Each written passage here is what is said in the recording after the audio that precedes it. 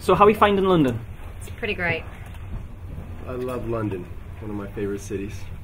Have you been here before or? I actually lived here from when I was like six months old till like uh, on and off like six or seven. So yeah, I've been here quite a bit. So I have to ask, what's it like working on one of the best looking shows on TV in that it's got one of the best looking casts on TV? Um, you know, it feels pretty darn good actually. Uh, looking at all the beautiful people on our set and our crew is actually pretty good looking too. So uh, yeah, it's all but a blessing, really. Yeah, that's. Uh, I, but it's accidental. Let's put it that way. yeah. What's it been like? Because obviously, John Barrowman's come on in season three as a series regular. Obviously, he was on before. Um, how's that been like for you working with him and for you guys as well? Because his role has kind of expanded a lot, and you've had a lot to work with this season with him. Working with John is probably my favorite, but it's probably the crew's least favorite because we had the least amount of work done. Um, but uh, yeah, it's it's a whirlwind having him on set. It's the best. Yeah, he, for me, um, it, he just changes up the the energy of the air. It just becomes like we're in grade school having fun again. Yeah, totally. Yeah, he's all like he's like we have a lot of fun to work with him. Like he like he sing and dance, you know, like Yeah. entertain. Like even if you're if you're not if you're not shooting, so that's great. And what did you think about that kind of big reveal then at the end, with him being now in the place of Ra's al Ghul? I mean, it's pretty cool getting to play his daughter. So I mean, um, but yeah, it was pretty pretty awesome to say the least. Will that make you heir to the demon so you could become one the next Ra's al as well? I actually never even thought about that. Whoa, bomb dropped. Um, who knows? I mean, uh, all I can think of right now is that Thea's just trying to figure out what's happening to her or not happening to her since she has been resurrected from the Lazarus pit. Your character's um, really expanded this season, and obviously you killed Sara, uh, Katie's character. And now that she's coming back of uh, Legends of Tomorrow, Yeah. could we see your character maybe go across to that show and see that she's alive and takes a bit of the guilt away from you?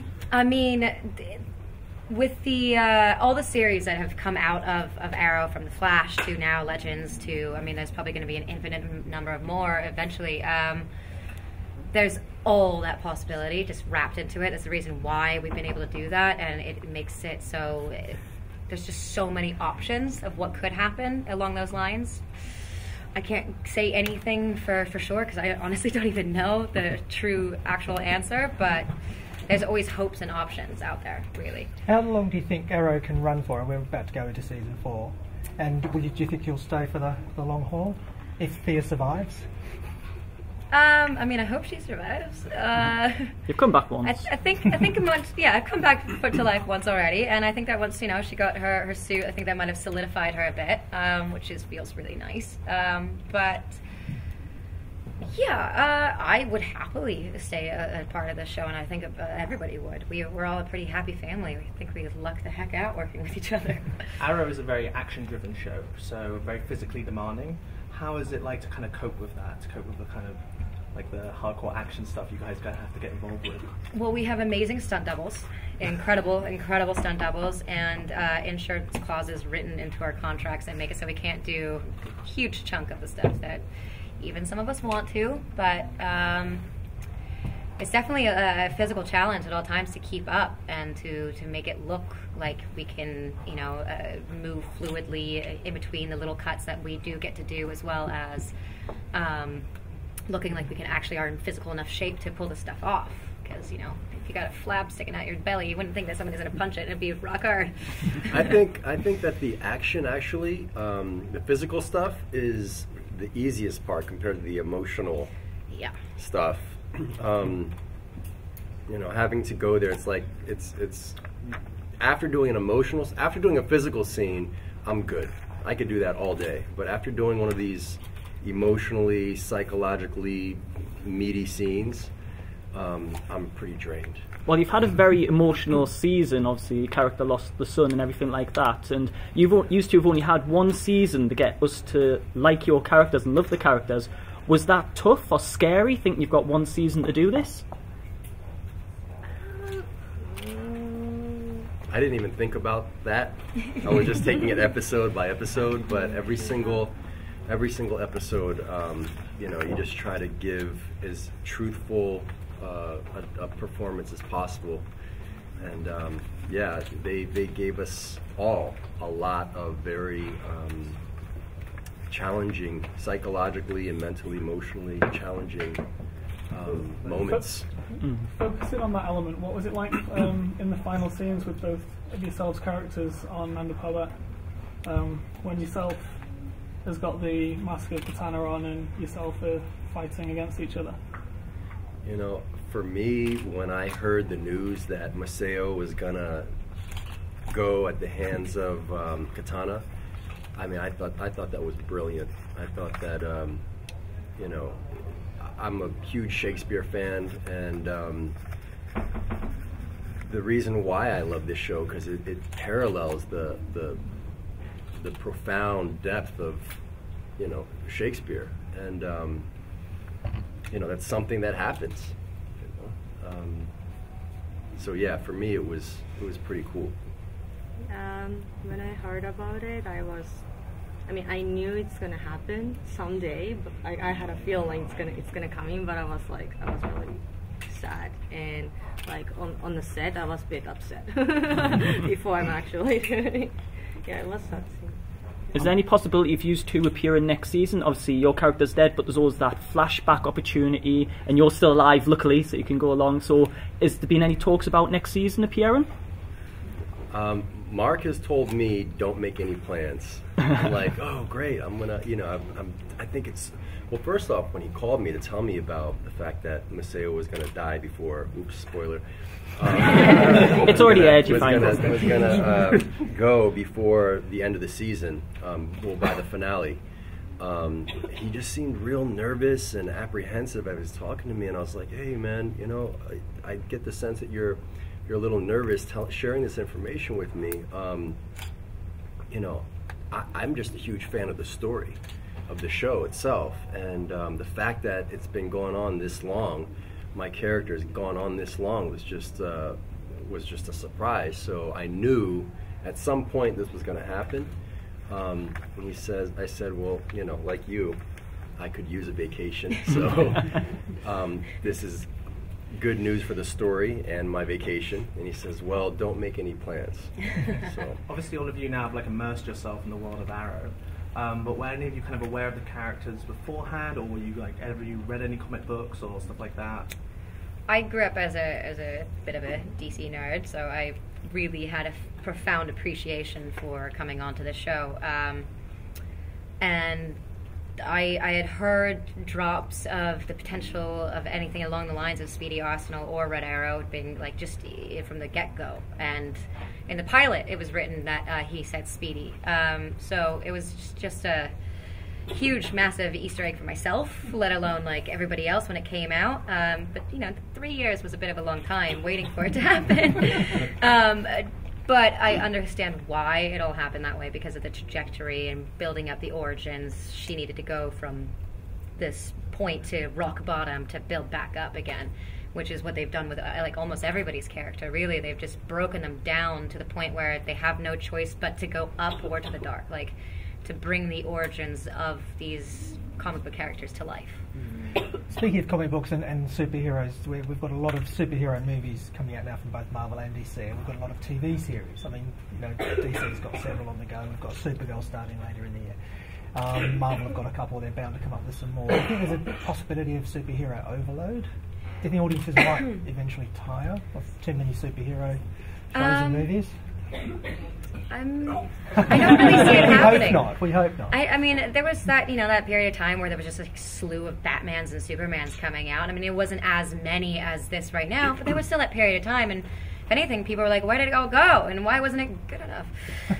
but, Yeah, I think if anything, the world in reality needs the morality tale of our superhero stories. We hmm. need that. I mean, especially with the things that are going on today. I mean, we need that sense of hope and, um, you know, uh, do the right thing and wherever you can protect people who need protecting. And, you know, it's very inspirational for me.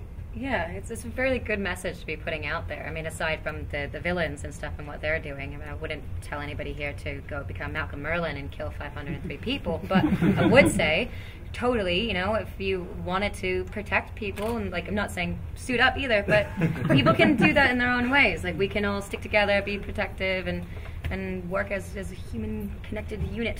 Talking about dressing up, um, obviously at Comic Con, what's it like seeing people dressed up similar to your characters or from the TV show and everything like that?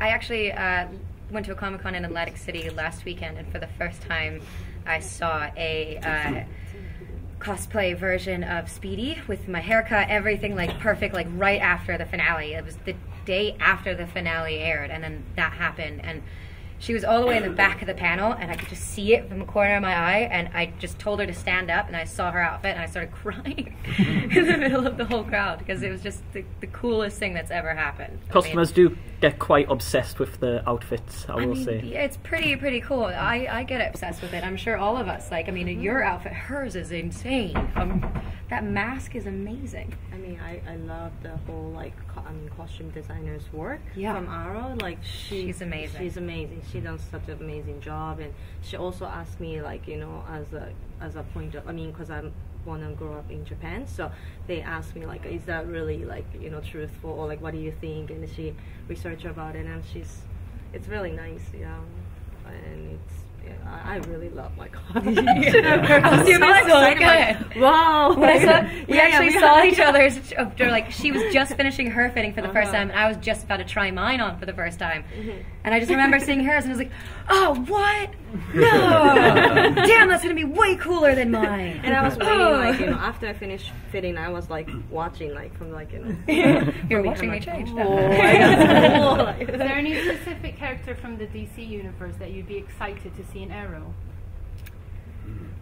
I always bring like whenever I because I've had that question quite a few times today in the last couple weeks and just uh, pertaining to all the, the movies that are being made and stuff like that in the comic book world. It's also taking a side from the the, the TV shows because we had uh, the Suicide Squad and these things inside of it, Argus. We were going really heavily into that for a minute, and then I mean, something must have come down from DC or some some higher up above that said, no, you must cease and desist because we're going to make it into a movie and we can't have anybody spoil that idea. And we did get to see that little like pigtail and the Argus uniform and the little treat of a Harley Quinn, and then it just got ripped away. So if, if we could actually have Harley Quinn on the show, that'd be amazing. But it's never going to happen. Well, then what would you like the- to see sorry. going? What would you like to see going ahead for Speedy now, your superhero character? And would you like to see um, Stephen return as Green Arrow?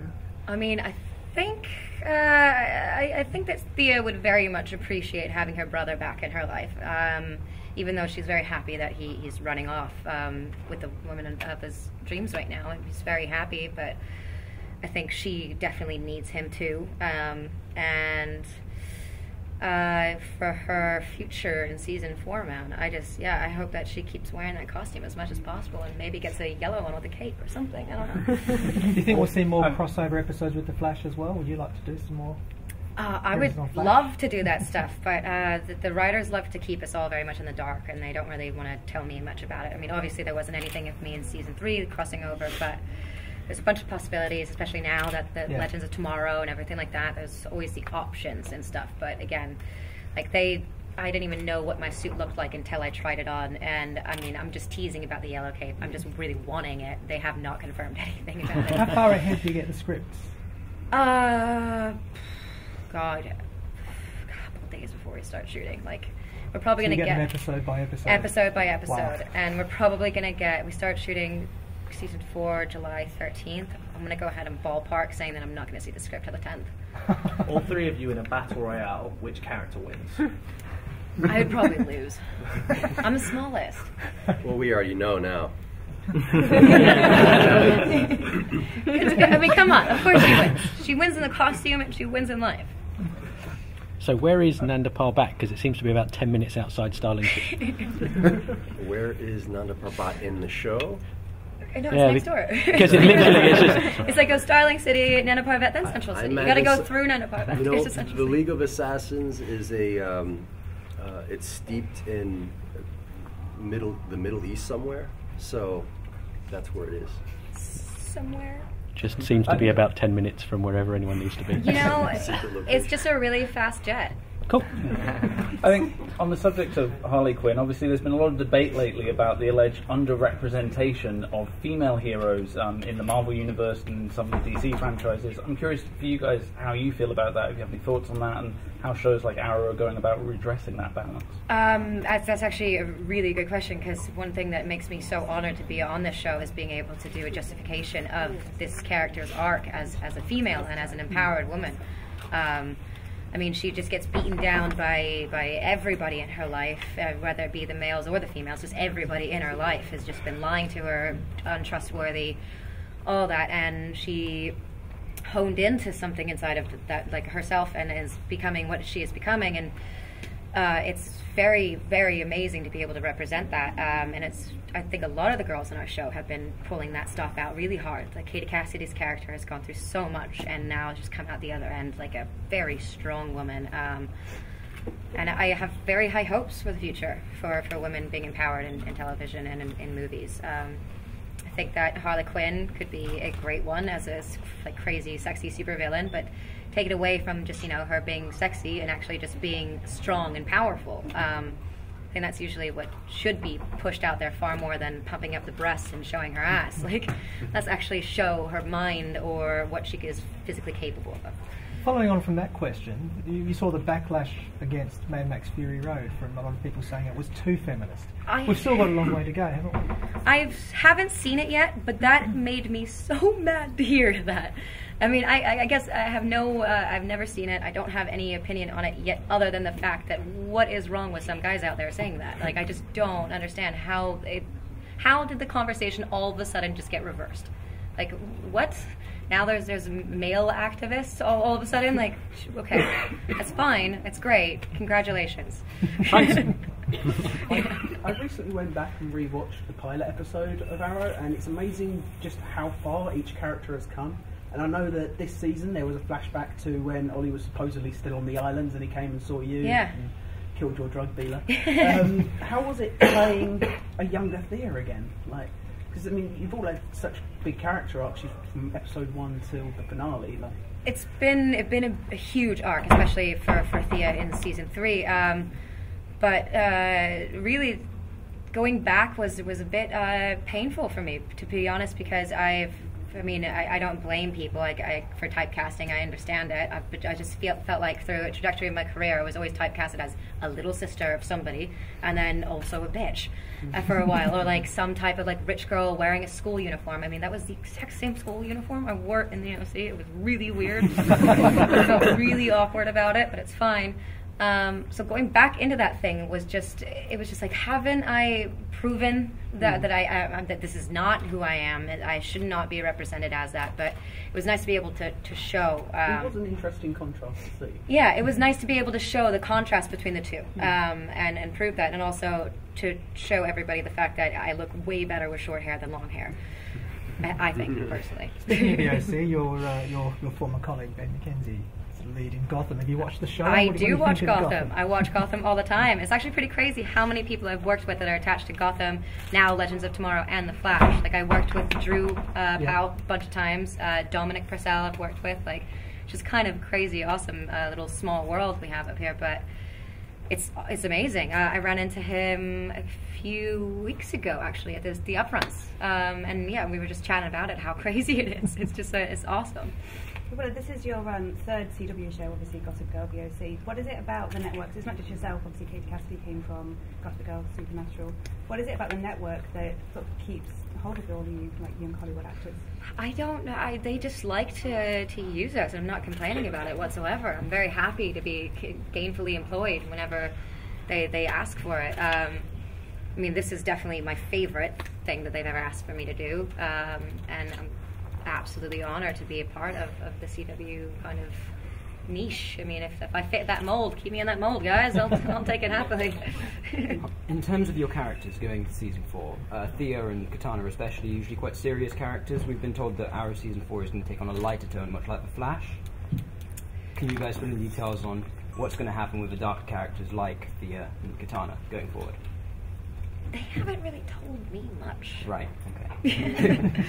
That's the thing. But they're both very talented actresses, and they'll go with that flow. I think. Well, if, Yeah, well, thank you. if they were to take a lighter tone, where would you like to see your character go in, in that direction?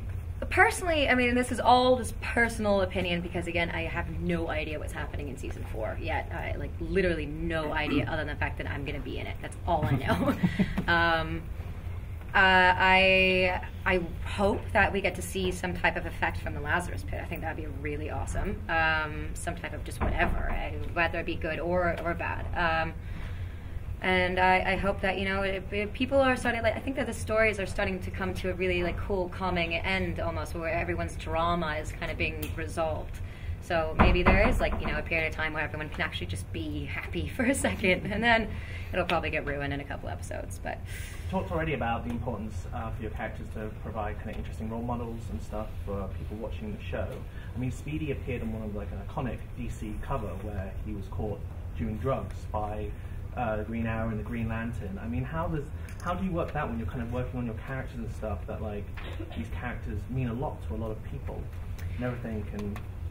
Um, it's, it's it's it's very interesting because uh, a lot of the people come up to me and say that like you realize that uh, Roy Harper was supposed to be Speedy. I'm like, yeah, that's in one of the comics, but there's also another one where Mia Dearden is Speedy. So I mean, I hate to say I have done my research and I do know what I'm talking about when it comes to this stuff, and I get you know people not thinking that, but um, it's it's it's interesting coming from the show because there's our writers wrote for the comics um, and they have a huge profound love for the stories um, and they don't want us to steer away from it but it's also difficult being on television being on a network and trying to mix the two together um, there's definitely certain things that are going to that are going to be lost a little bit um, but it's it's nice to be able to pull out those stops Yeah. and prove uh, the actual stories in the pudding i guess I think what uh, what makes a hero also very interesting is their vulnerability. That that's what makes them interesting to watch because they're. I mean, how how interesting would it be if a hero was just this hero all the time? We would lose interest. So, um, like you said, like they're going to do some some flawed things, and you know that's that's great for the morality part of the story as like a cautionary aspect um, of what not to do and how we can learn from it, especially as heroes. Uh, Willa, I'm going back to my friend's um, question about the drug issue. Um, in the flashback, um, it was shown that you were using drugs, but um, and in the comic book, it was like a big deal. Do you feel that um, in the show it wasn't really like given enough weight? Um, I, yes and no. I think that the fact that they showed it was admirable enough. Uh, I, I, I respect it as as a comic book lover. I am like I, I I could take that, but I can understand people not thinking that it was enough. But the reasons why is because again, we work on the CW. We can't just be shoving needles in people's veins and stuff like that. Like it's just not going to happen on the network. Um, but I think that you know it was nice how they brought it back around uh, this season. They just a nice little refresher, and uh, in case you know people forgot how silly she was back in the day. There you go. There's a reminder um, of just like a bit of the her trajectory as as that, and also yeah. I mean, it's, it's it's an interesting thing. It's hard to kind of go through it though. Thanks for watching. Why not subscribe to our YouTube channel by clicking on the link on the screen now?